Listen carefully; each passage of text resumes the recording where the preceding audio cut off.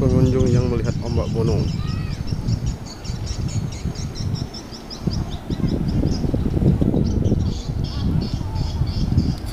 Gunung hari ini. 15 Desember 2020